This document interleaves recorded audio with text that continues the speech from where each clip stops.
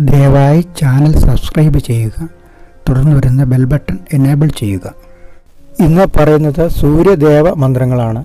ഇത് സൂര്യഭഗവാനെ വളരെ വേഗം പ്രസാദിപ്പിക്കുന്നു എന്നാണ് വിശ്വാസം.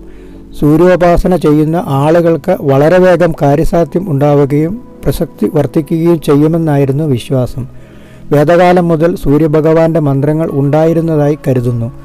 വരുണ വായു അഗ്നി ഭഗവാന്മാരെ ആരാധിക്കുന്നത് പോലെ സൂര്യമന്ത്രങ്ങളും സൂര്യസേവയും ചെയ്തിരുന്നു.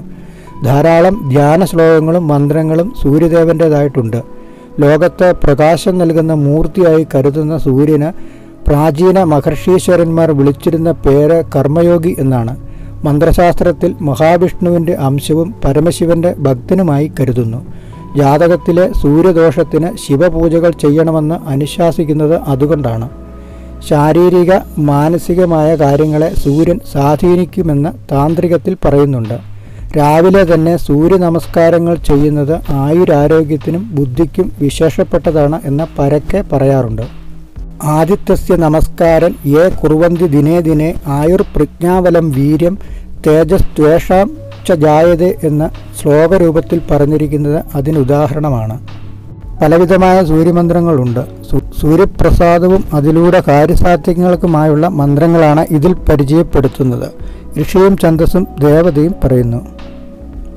ദേവനാഗ ഋഷിഹി അതിദൃതി ചന്ദ ശ്രീ ശ്രീസൂര്യ ദേവത ധ്യാന ശ്ലോകം ശോണാംഭോരിക സംസ്ഥിതം വേദത്രയീ വിഗ്രഹം ദാനാംഭോജ യുഗാഭയാനി ദതതം കസ്തൈ പ്രവാളപ്രഭം കേയൂരാം ഗതകാര കങ്കളധരം കർണോല്ല സൽക്കുണ്ടലം ലോകോൽപത്തി വിനാശപാലനകരം സൂര്യം ഗുണാബ്ദിം ഭജേ.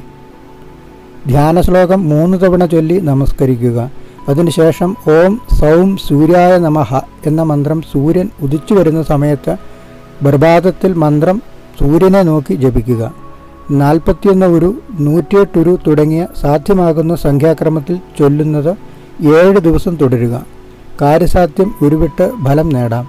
അതിന് കഴിയാത്തവർക്ക് അഞ്ച് ദിവസം മാത്രം നൂറ്റിയെട്ട് രൂപ വീതം ചൊല്ലാവുന്നതാണ്. അത്ഭുതകരമായ ഫലമാണ് ഫലശ്രുതിയിൽ പറയുന്നത്. കൂടുതൽ മന്ത്രവിധികൾക്കായി ഈ ചാനലിലെ മറ്റു വീഡിയോകൾ സന്ദർശിക്കുക.